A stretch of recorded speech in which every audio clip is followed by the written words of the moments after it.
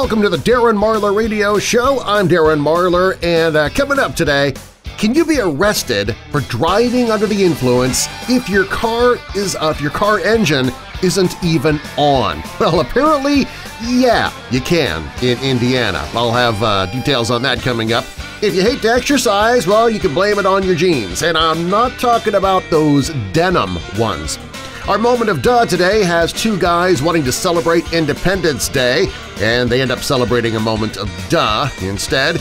We've got Question Impossible, you got your birthday wrap-up. Hey, would you uh, would your dog rather receive a treat or praise from you? Well, I'll give you the answer, and also admit it. You like doing those mind-numbing tasks at work, don't you? Don't ya? Well, I'll tell you why you do in uh, a little bit later on in the show. And in a few minutes, G.I. Joe and the World Wide Web. They surf their way into today's weird holidays. I'm Darren Marlar, and join me. We're all having a Tuesday, and you're invited. Let's do it, y'all. It's about time. The Darren Marlar Radio Show. I'm listening. I need a little excitement. Get more Marlar. On Facebook. Okay, admit it. You like doing those mind-numbing tasks at work, right? You know, those, those really boring tasks that take no mental skills whatsoever. You like doing those, right? Yes, you do. You may not admit it, but you do, and I'll, I'll explain why here in just a bit. I'm Darren Marlar. If you'd like to, uh, well, like me, poke me, tweet me, follow me, uh, whatever you want to do on social media, you can find it all at darrenmarlar.com. That's D-A-R-R-E-N M-A-R-L-A-R dot com. Let's take a look at today's weird, wacky, strange, zany, odd, bizarre, quirky, unusual holidays. Today is Tuesday, August 1st. We actually made it to a new month. Congratulations! This is G.I. Joe Day. It was on this day in 1964 that Hasbro Toys introduced G.I. Joe, an 11.5-inch action figure that sold for $4. The doll was inspired by the 1945 Robert Mitchum movie, The Story of G.I. Joe. And they were realistic dolls, too. As they aged, their hair began to fall out. At least mine did. Did you have one like that, that the little fuzzy hair? The older that, the more you played with that thing, the more hair he lost. I mean, he, he looked like he was aging right there in front of you. Uh, today is World Wide Web Day. It marks the birth of the World Wide Web in August of 1990 at the European excuse, at the uh, Europe Laboratory for Particle Physics in Switzerland. Uh, so wait a minute, Al Gore wasn't involved with this, really? No, anyway, no, Tim Bern Berners-Lee and Robert Kiley, uh, two guys named Tim and, and Robert, neither one of them named Al Gore. All right, we'll just put it that way. They developed a prototype web browser and they introduced HTML, which we've all seen, but very few of us actually understand what it means. It means Hypertext Markup Language. So that uh, they uh, so they kicked that off at like 2 p.m. in the afternoon, and then at 2:06 that same afternoon, the very first sending of spam. Uh, Simplify Your Life Week begins today, which computers and the internet were supposed to do for us. Obviously, that did not happen. No need getting upset about that, though, because August, all this month, it is Happiness Happens Month, sponsored by the Secret Society of Happy People in Coppell, Texas. All right, well, how secret can you be, though? I mean, if you tell everybody what city your secret society is in, what it's called, and you're publicly sponsoring an entire month telling people to be happy. You know what? I'm happy. Hooray. What do you think your dog would rather have from you? A, uh, a treat or a little bit of praise from you? Well, dog expert Gregory Berns, he's going to give us the details in less time than you could fetch a stick at coming up here in just a bit. First, it's, it's uh, today's question impossible. Your question, how many words in the English language contain the vowels A, E, I, O, U in that order? Again, how many words in the English language contain the vowels A, E, I, O, U in that proper order? I'll give you the, the, uh, the answer to that coming up here a little bit later on, or you can, if you're just impatient, you can Google it and find out for yourself if you want to cheat.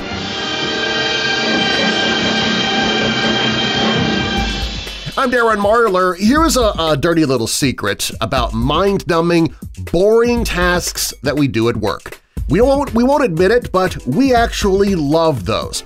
Completing unchallenging tasks it gives us such a sense of accomplishment that this kind of work actually makes us happy, according to researchers from the University of California, Irvine, and Microsoft Research. With rote work, you get a feeling of accomplishment, but you've not really exerted a lot of mental activity, says study leader Gloria Mark. She told the Wall Street Journal this, and it gives you a feeling of fulfillment, but there's no frustration or stress. So we like doing those mind-numbing things, which is probably why I feel so good every day after the show. Hi, I'm Darren Marlar, and if you've missed any part of today's show, well, you can catch up at darrenmarlar.com. That's D-A-R-R-E-N-M-A-R-L-A-R dot com. Well, when your dog does her series of three tricks, you know, rolls over, shakes, speaks, and she does it all in perfect succession just like you trained her to do, well, do you think she'd rather have a doggy treat or some praise from you? Well, given the choice, many dogs actually prefer praise over food, according to researchers from Emory University in Atlanta. Dogs were at the center of the most famous experiments of classical conditioning conducted by Ivan Pavlov in the early 1900s. You've probably heard of Pavlov's dogs. Well, Pavlov showed that if dogs are trained to associate a particular stimulus with food, that the animals salivate in the mere presence of that stimulus in anticipation of the food. Well, one theory about dogs is that they are primarily Pavlovian machines. They just want food and their owners are simply the means to get it, according to lead study author and neuroscientist Gregory Berns. Another more current view of their behavior, though, is that dogs value human contact in and of itself. A study found that most preferred praise from their owners over the food, or at least they appeared to like both equally. Only two of the dogs were real chow hounds, sharing a strong preference for the food.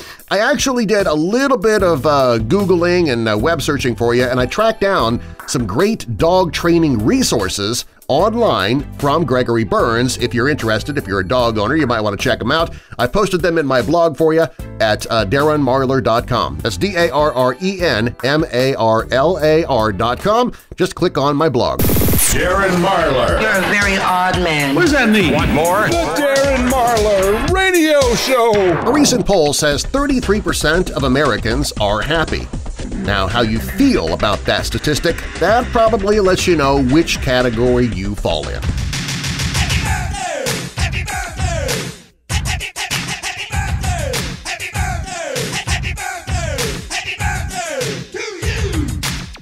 Time for today's birthday wrap-up. It's Tuesday, August 1st, celebrating birthdays today from North and Die Hard.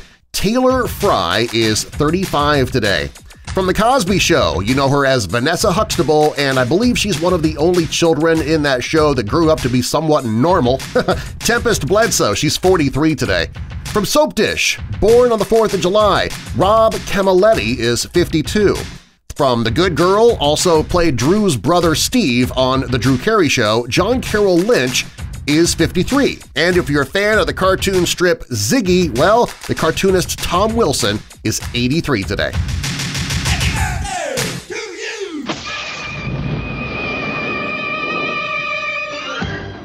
Today's question for Question Impossible again, how many words in the English language contain the vowels A, E, I, O, and U in their proper order? Well, if you guessed five words, you were correct.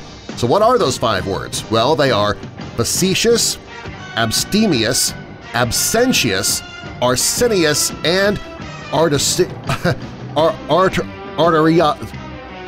Look it up. Ar arteriasis. Ar arteri. Okay, you know what? I, I looked up the words, but I didn't look up the pronunciations. I should have planned that a little bit better.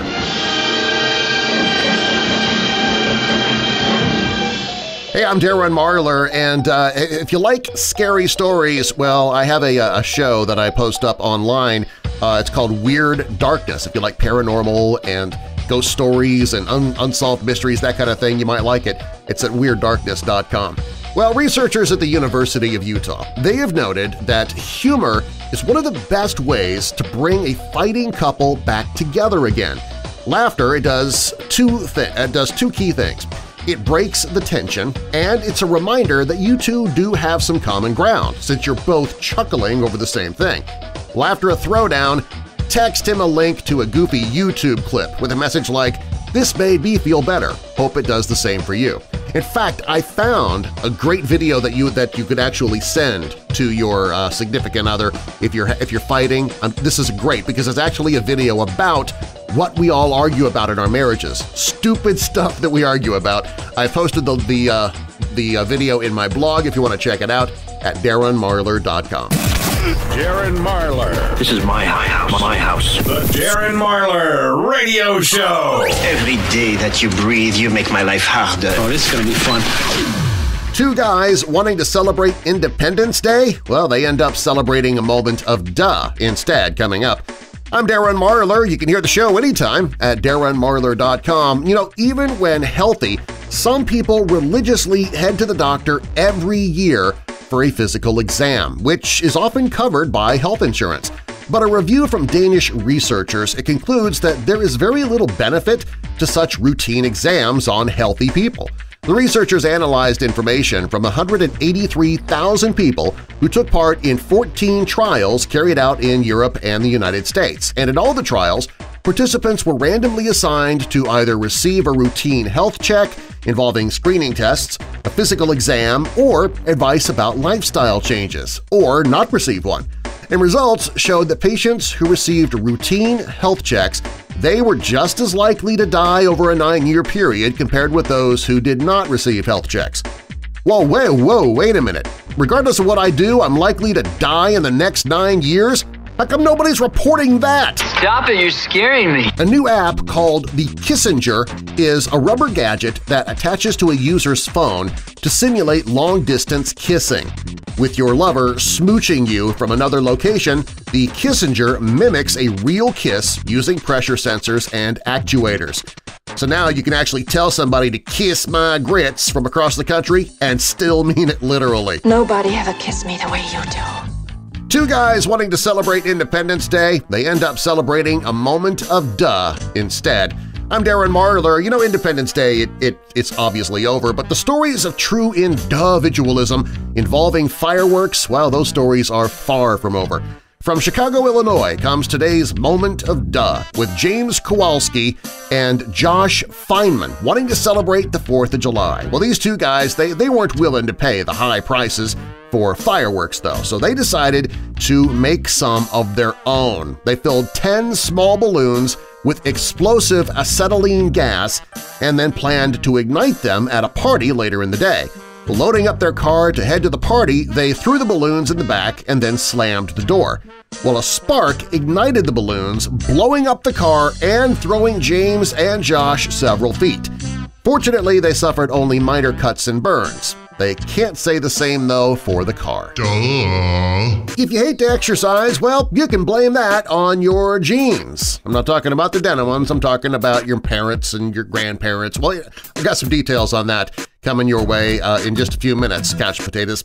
I'm Darren Marlar, and for a few more laughs, if you want a few more after the show, well, you can check out my Daily Dose of Weird News. You can find that at dailydoseofweirdnews.com. I got a new episode every weekday there. And now another useless fact. A restaurant in China once paid $75,000 for a giant golden tiger fish because it's believed to be good luck. The fish died during transport. Can you be arrested for driving under the influence even if your car's engine isn't on? Well, that is our Brain on Drug story coming up here in just a bit.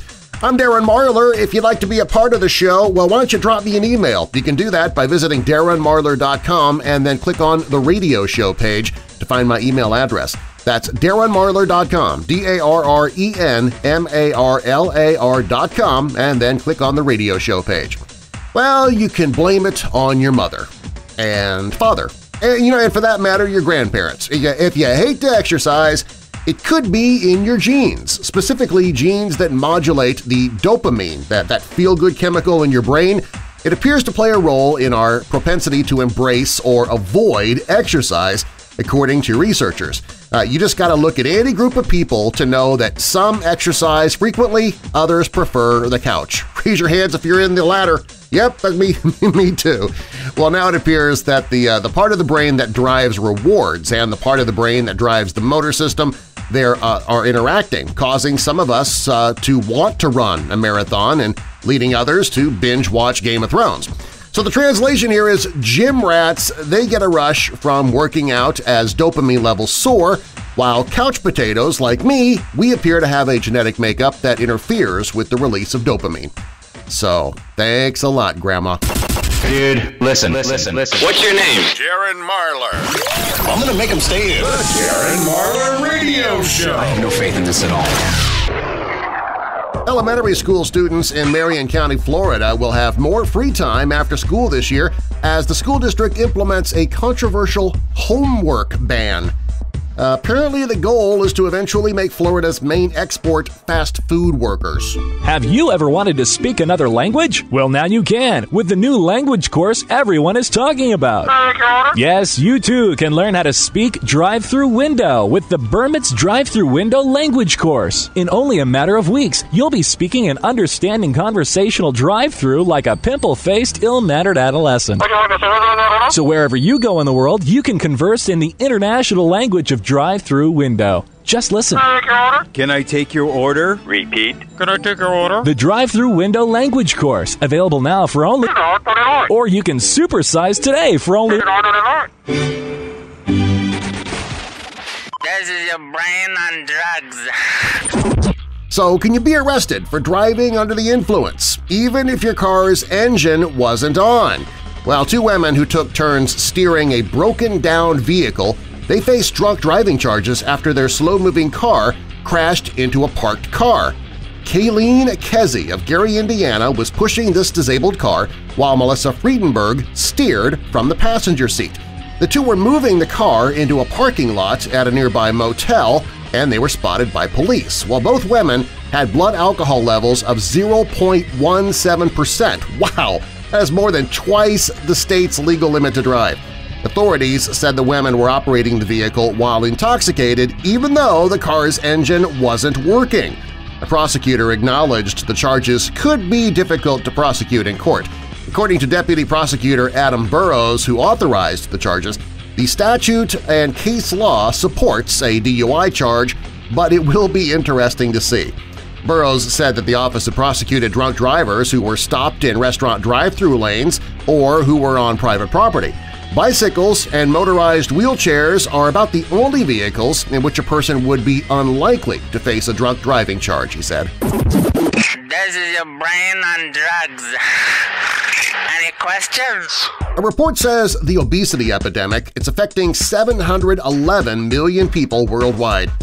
Ah, 7-Eleven, there's that number again. Hey, who's in the mood for a cherry Slurpee and a nacho cheese-covered hot dog? They're fun-loving. They're fearless. The movie that defies the forces of gravity. And good taste. Hot dog. The movie. Flipping. Turning. So kiss your buns goodbye. It's Hot Dog. The movie.